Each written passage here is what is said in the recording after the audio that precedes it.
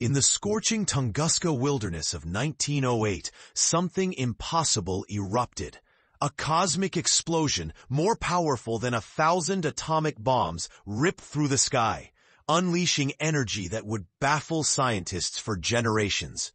No crater, no fragments, just 80 million trees, an entire forest, snapped like matchsticks, in a perfect radial pattern across 830 square miles.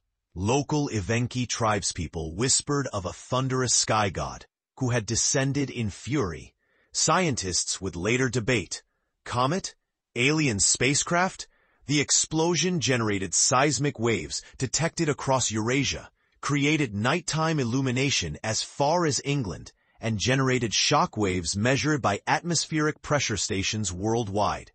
Leonid Kulik, a young Russian geologist, would be the first scientific expedition to investigate 16 years later. Standing amid the devastated landscape, he found trees pointing outward from an invisible epicenter, their trunks stripped bare, revealing a landscape of unprecedented destruction.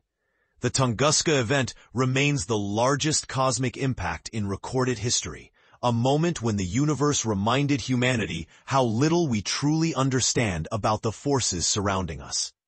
One millisecond changed everything, leaving behind only questions and silent, broken trees.